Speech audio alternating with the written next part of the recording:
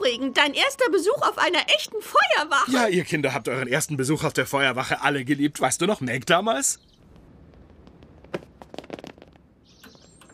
Willkommen auf der Cohawk Feuerwache, Freunde. Ich bin Captain Beckman. Wenn ihr Fragen habt, nur zu. Ich beantworte sie gern. Was geht ihr, Freaks? Wartet ihr drauf, dass jemand mit einer Zigarette im Mund einschläft? Faule Feuermongos! Ist noch ein Donut, du Schwein! Wir haben Knarren, ihr habt Schläuche. Bis dann auf dem Softballfeld.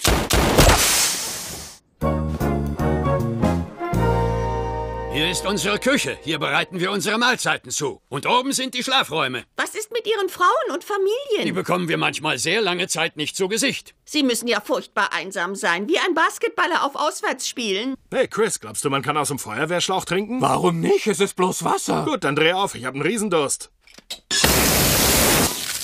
Na toll, Chris. Jetzt ist mein Hemd nass. Den wenigsten ist bekannt, dass man bis zum Jahr 1928 keine Schläuche hatte und ein Feuer mit bloßen Händen bekämpfen musste. Hier eine kleine Demonstration. Ah. Oh, freche kleine Flamme, hä? Oh mein Gott, das Feuer hat eine Waffe! Was war das für nochmal? Komm schon, Stewie, wir gehen. Moment noch, Brian. Ich spiele Feuerwehrmann. Ich spiele gern andere Leute. Ich heiße Peter. Ich arbeite in der Brauerei. Jetzt ziehe ich meine Hose an und rede mit meinen Kollegen, in der in dieser Hose ist Stuhl. Reunited and it feels so good.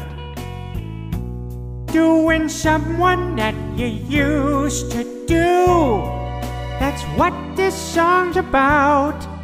You could find someone else, but this seems a little easier cause you already have their number. Yeah, yeah.